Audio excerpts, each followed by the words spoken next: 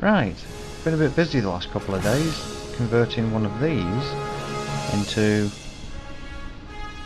that.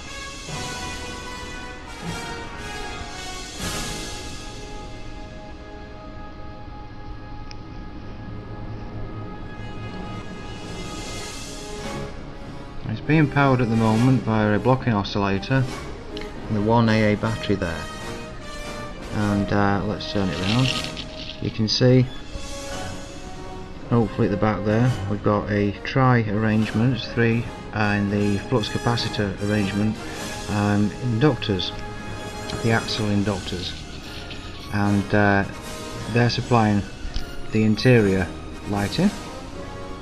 And we've also got the blue LEDs there which are being powered by the little Tesla tower, the Walgreen tower which has got a Slayer circuit running that now if I disconnect the battery we still have the blue lights on there but also we get the uh, arrestor hook there that was in the first film and plug that in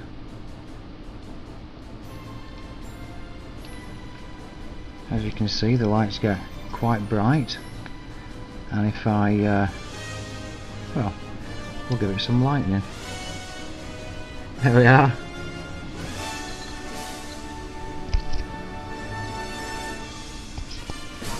Which is how a DeLorean should be. Should be lightning powered. So there we are. That's been the project the last couple of days